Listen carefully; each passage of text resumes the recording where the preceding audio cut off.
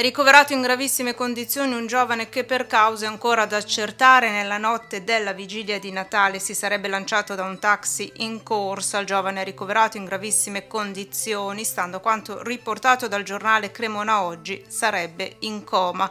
Sono in corso le indagini sulla vicenda in quanto le amiche che si trovavano con il giovane avrebbero raccontato che alla richiesta al taxista di pagare con la carta quest'ultimo si sarebbe mostrato contrariato, tanto che sarebbe nata una discussione, terminata poi con la richiesta del ragazzo di farsi accompagnare al bancomat. Le due ragazze sarebbero scese e il mezzo sarebbe ripartito improvvisamente con il giovane ancora a bordo del veicolo.